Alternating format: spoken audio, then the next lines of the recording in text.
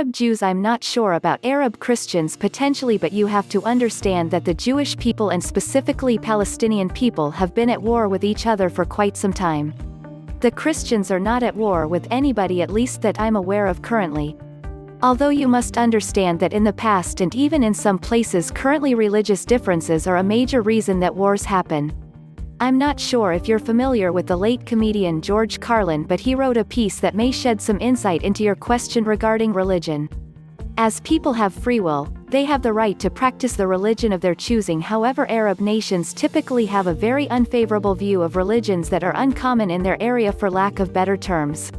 Conversely, the wall around the Vatican was built to keep out Muslim invaders and the Christians in Spain engaged in the Crusades which spread all over Europe.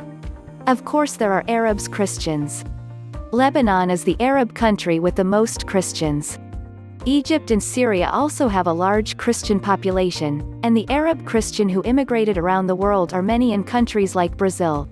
Christianity isn't an ethno-religion anyone can join no matter who is he.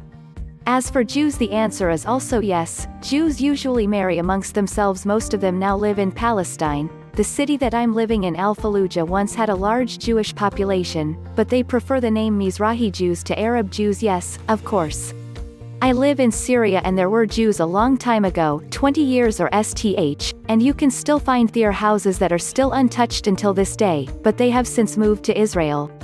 That's for the Jews, Christians however are still here to this day and I have a lot of Christian friends. There are Catholics and Unitarians they are known as Romes in Syria, I don't think there are Trinitarians however, at least not as much as the other two types that I've mentioned earlier. And here is something that I don't understand, in Syria Muslims and Christians live together so peacefully, we, Muslims, visit the church on Xmas evening and the welcome us and we talk and everything is okay, but when it comes to America, Muslims are treated as terrorists. I do acknowledge that there are some real terrorists who go under the cover of religion to kill people, but I really don't think anyone can generalize especially with over 1.7 billion people. There are Arab Christians and they're native to the Middle East. They are some of the oldest Christian communities. There are no Arab Jews. Jewish is an ethnicity, not just a religion. Arab is a related but distinct ethnicity. Unless you're an Arab who became Jewish religiously, yes that exists. But they don't identify as Jewish ethnically,